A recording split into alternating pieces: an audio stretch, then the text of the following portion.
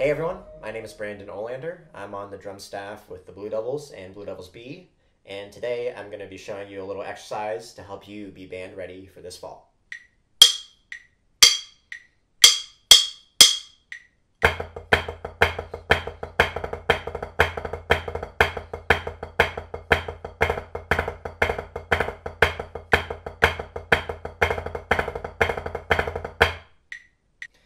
So the exercise we're going to be working on today is called the shopping spree.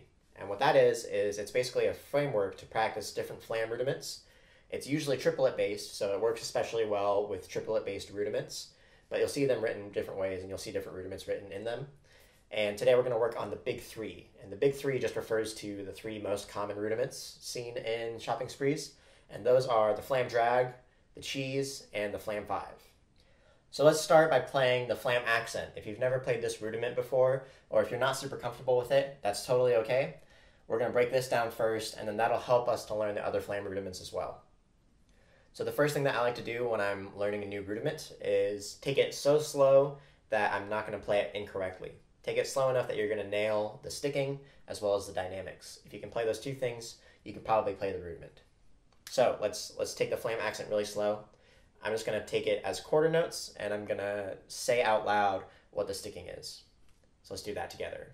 One, two, ready, and go. Flam, tap, tap,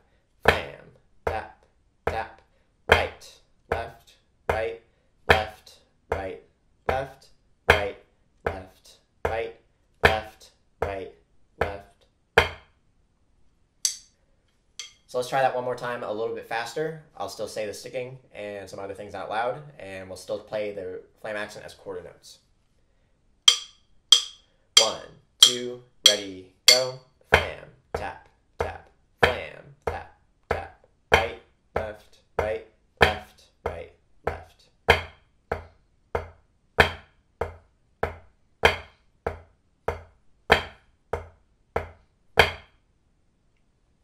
One more thing I should add is in order to play flam accents and any other flam rudiments really well, you have to play consistent flams. So it's worthwhile to just break down some flams and make sure that you're playing those accurately.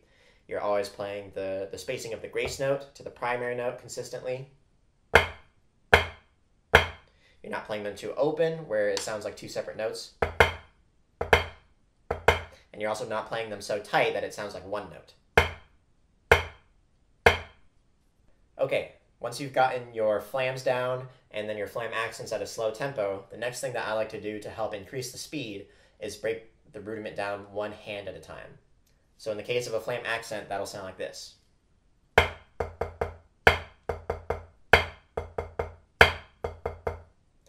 did I figure that out? One way you can do, you can do this with any rudiment, is play with just one hand on the drum and the opposite hand on your leg. So I'll do that with the flam accent now.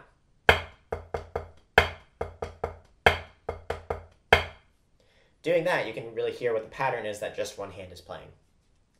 So, in the case of the flam accent, we're playing one accent and then followed by three taps.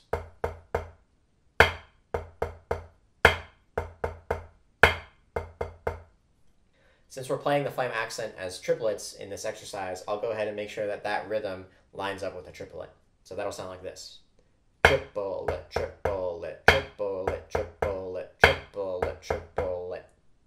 So once you've played the pattern of one hand, you can start to slowly add in the opposite hand. The first thing that we're playing in this rudiment is a flam, so I'll go ahead and play one left hand, the grace note, and I'll still play the same right hand pattern. One, two, ready, and go.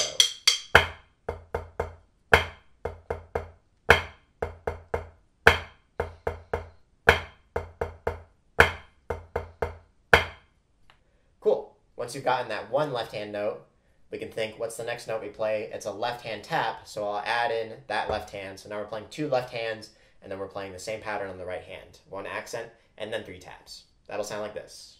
One, two, ready, go.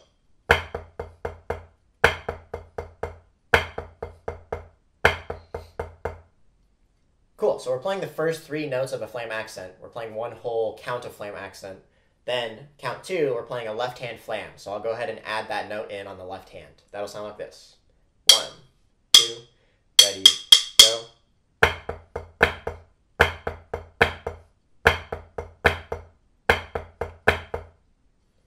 We're almost there. We only have one more note to add to make it a full two counts of flam accents, and that's the last left hand tap. So let's go ahead and add that in.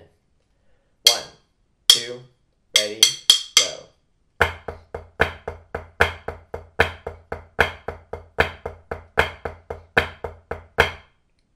can do the same thing to work on the other rudiments in this exercise as well. So let's take a flam drag, for example. So if we were to play the flam drag with one hand on the drum, that would sound like this.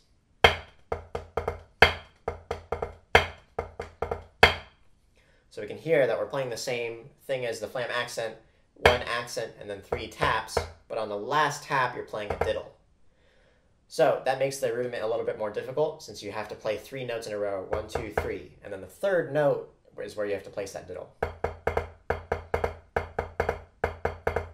Something that I think really helps with these more difficult flam rudiments is to make sure that when you play those three taps in a row, they're really rebounding. As opposed to forcing them all in, each as an individual stroke. This will really limit you in your tempo as you're trying to get this faster. So the more that you're able to rebound those three notes, the easier it'll be to play all of these rudiments at a faster tempo.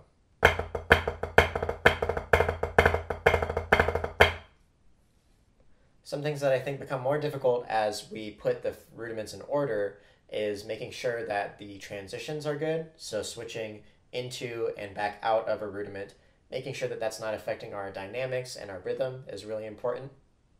Something I like to do to work on that is make sure that I can play just one count of each new rudiment. So let's I like to take the first bar and then just one count of flam drags.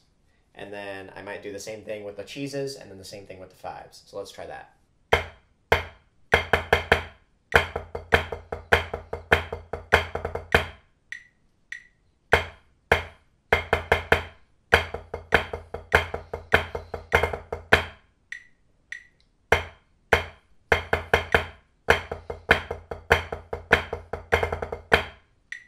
If you can nail one count of each rudiment, it'll be easier to play four counts in a row. On the other hand, if you can't play the first count in time, it's going to be really difficult to play the other three counts in time. Especially if you haven't worked on these rudiments before, it's not really expected that you're able to play this exercise in just the time of this short video. So, don't be afraid to spend some time individually, work on these rudiments, and try to put them back into this context. And then from there, you can add different rudiments. You can play flam taps, inverted flam taps, any other flam rudiment you can think of and try to put it into the framework of the shopping spree. Okay, let's try that one more time from the top.